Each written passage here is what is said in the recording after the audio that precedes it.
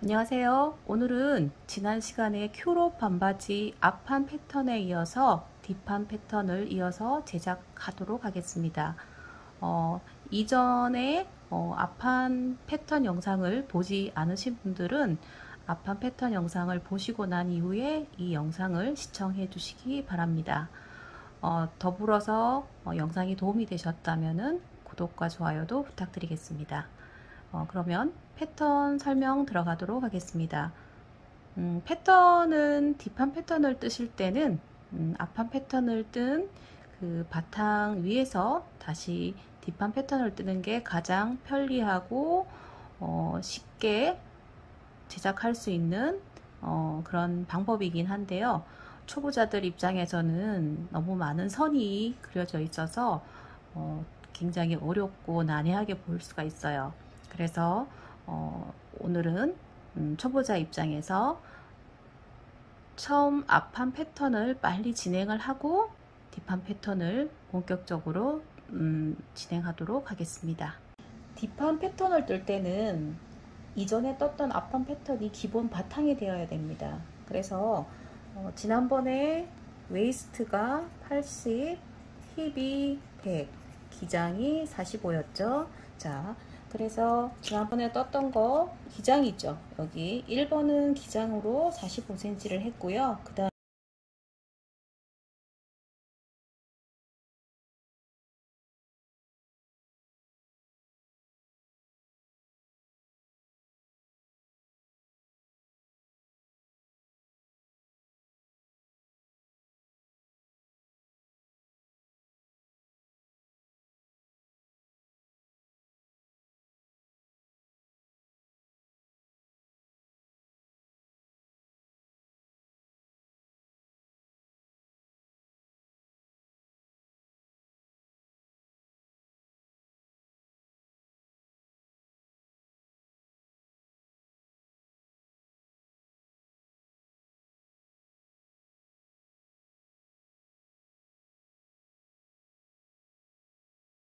자 그럼 이제부터 이제 뒷판을 뜰 거예요. 그러면 그 뒷판은 밑에서부터 위로 올라가는 방식으로 진행을 하겠습니다. 자 이렇게 자 아래에서 바지통을 저는 자 뒷판은 5cm를 낼 거예요. 이쪽에서도 다시 5cm 자 이렇게 이렇게 5cm를 일단 냈어요. 내시고요.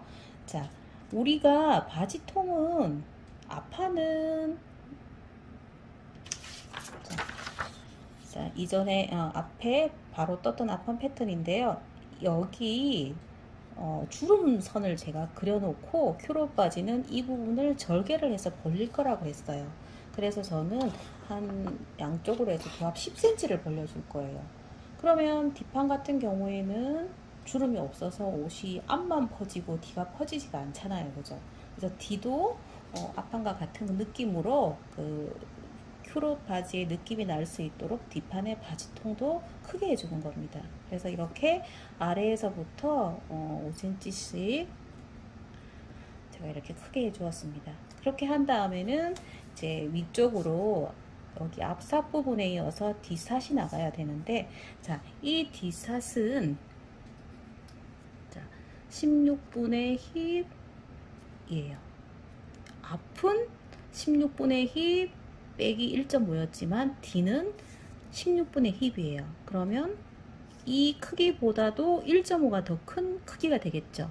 예를 들어서 여기가 5cm였다. 그러면 이거는 6.5cm가 되는 거예요. 왜냐하면 여기는 16분의 힙 빼기 1인 거고 여기는 16분이 힙이기 때문에 1.5cm가 더 크다 이렇게 보시면 되겠죠. 그죠? 그래서 이렇게 대각선으로 그려주시고요. 그리고 나서 여기도 마찬가지로 이렇게 곡을 잡아서 뒤는 살짝 더 크게 하실 수 있으면 좋겠죠. 그죠? 자 이렇게 해서 이 선 이렇게 박아주시면 되겠습니다 자, 이렇게 하고요. 그 다음에는 여기 부분이 이제 그 디스타스를 그리는 건데 이건 어떻게 그리시냐면은 먼저 여기 앞 사세 직각선이 있어요. 그 선을 먼저 이렇게 곡선으로 한번 잡아 보시고요. 자, 이렇게 1번 먼저 잡아 두었습니다. 그 다음에는 자, 바지 중, 뒷 중심, 여기 앞 중심선에서 자, 이 부분을 자, 2등분, 2등분 한 선을 이렇게 그어주세요. 자, 이렇게 그어주시고, 자, 그런 다음에는 여기가 엉덩이 품이에요. 엉덩이 품을 그려주시는데, 엉덩이 품은 우리가 원래 앞판은 4분의 힙이었죠. 그렇죠? 그래서 앞판은 그 대신에 또 주름 절개선이 있어서 어, 퍼지게 될 것이고요. 그렇죠? 그리고 이제 뒷판 같은 경우에 이렇게 품을 여기서 내주셔야 되는데 어떻게 내주시느냐 하면은 자 허리선을 보세요. 허리가 지금 우리가 고무줄 바지가 아니라고 했어요. 이번에는 고무줄 바지가 아니라 제 허리 벨트예요. 그러면 자 4분의 waist 여기에 품은 4분의 waist 플러스 뒷 다트분 자, 다트분 자 이렇게 해서 다트분을 넣어 주시는데 한2 내지 3cm 정도의 다트분을 일단 계산을 해 주시고요. 자 그러면은 4분의 waist 플러스 2 더하기 3이니까 이 크기는 예를 들은 치수에서 22가 돼야 되겠죠. 그러면 자 여기 뒷바지 중심선 그은 선과 허리선을 같이 기준으로 잡아서 우리가 필요로 하는 이 치수를 찾아주는 겁니다. 이렇게 여기 직각이 되도록 이 선과 이 선이 만나는 점 그죠? 예를 들어 제가 허리 80인 경우를 예를 들었을 때 이 크기는 22가 돼야 되겠죠. 그래서 그 22가 되는 선을 이렇게 눈금 보시면 여기가 20이죠. 22가 되는 선을 찾아주셨어요. 찾아주시고 자 그런 다음에 이 여기 허리에서 내가 원하는 바지통 이렇게 이렇게 그어주시면은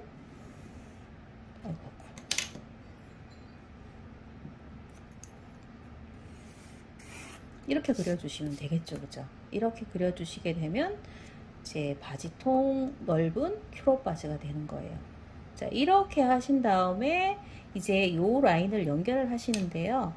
어, 자, 먼저 연필로 이 선 앞에 사세 직각인 선과 우리 여기 자, 이 선, 우리 뒷중심을 선, 그은 선을 연결을 해 주시는데요. 이렇게 이렇게 잡아서 어, 곡선을 그려주시면 되는데 이 부분이 좀 어렵다 하시는 경우에는 음, 우리가 지금은 4분의 1 축도다 보니까 어, 이렇게 제가 뭐 이렇게 그리기가 좀 수월하겠죠? 근데 이제 여러분께서는 어, S모드 자가 있어요. 이렇게 음, S모드 자를 이용해서 어, 이 라인을 이용해서 그려주시면은 어, 좀 그리기가 수월하시겠죠, 그죠? 그래서 자 그러면 자 여기 품을 또 먼저 품도 지정을 해서 하시는 방법도 있어요. 여기가 어, 엉덩이 품을 재는 어, 이 선과 이 선을 기준으로 해서 어, 그러면 지금 내가 허리는 4분의 waist를 잡았는데 그러면 이 품은 엉덩이보다 얼마나 큰 거지? 그죠?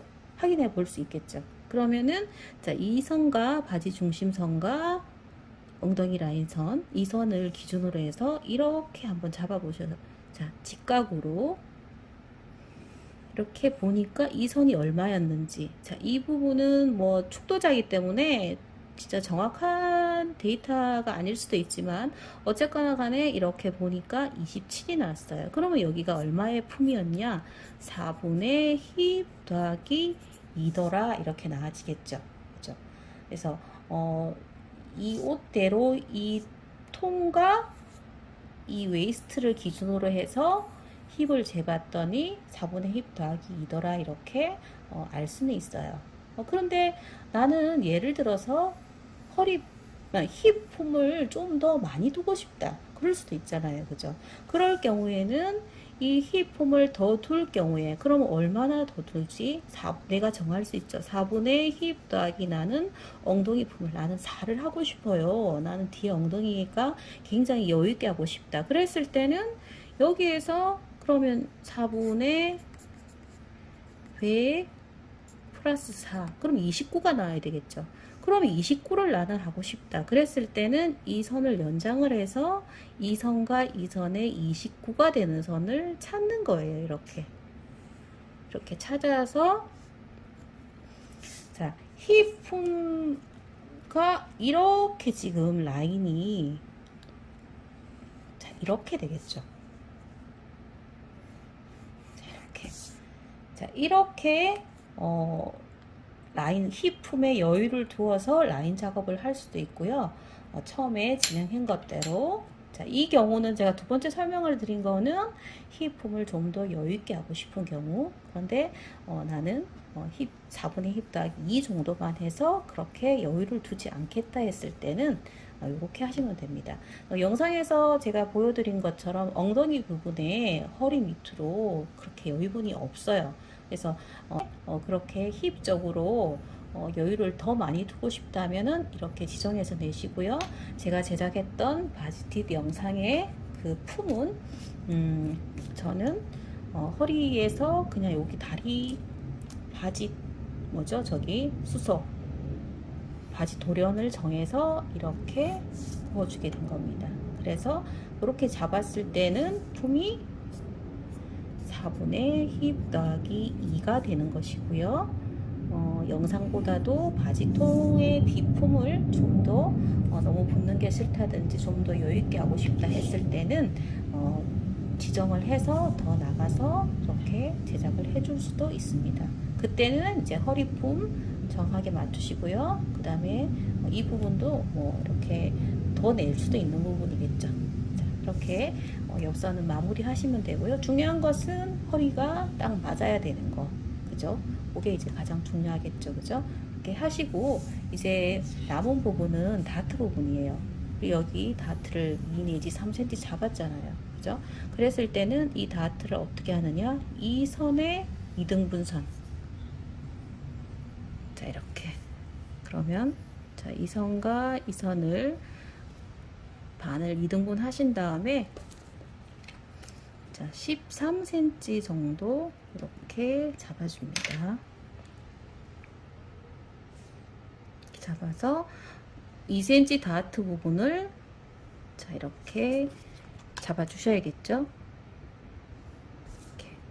그럼 여기는 4분의 waist 플러스 2인 이 다트 부분 2cm가 여기서 어, 정리가 되셔지겠죠. 자, 이렇게 다트를 하시고요.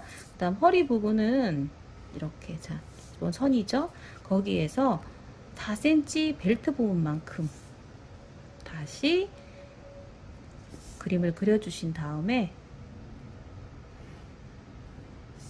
자, 이 부분은 잘라서 별도로 허리 부분이 되는 것이고요.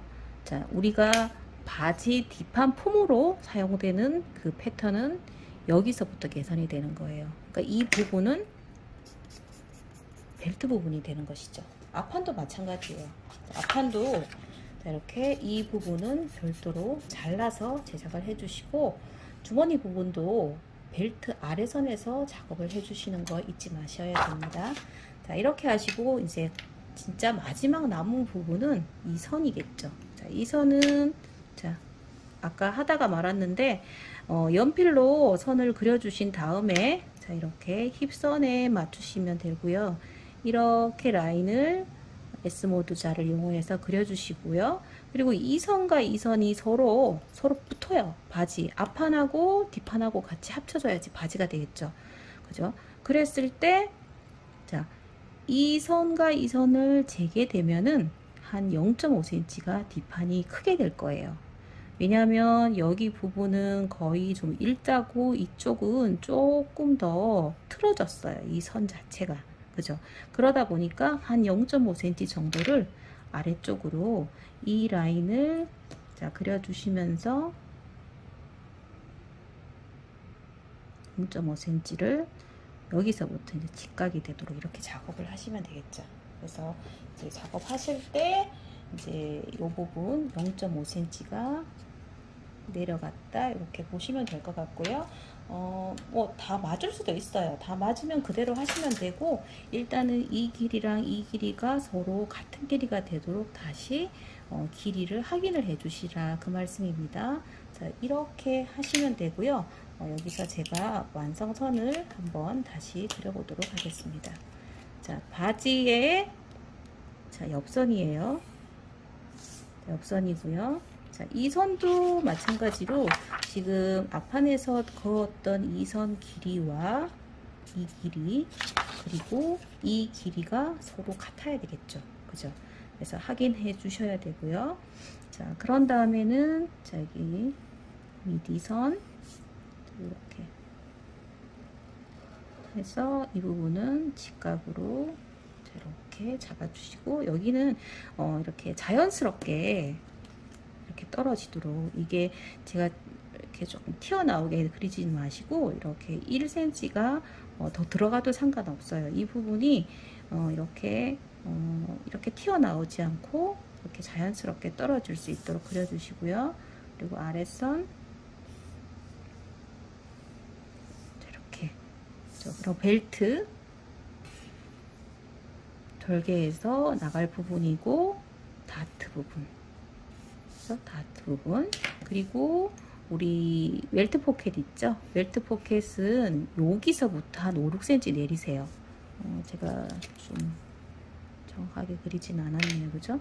자 5cm 내리시고 여기에 웰트 포켓의 크기는 11에서 한 12 정도 이렇게 해서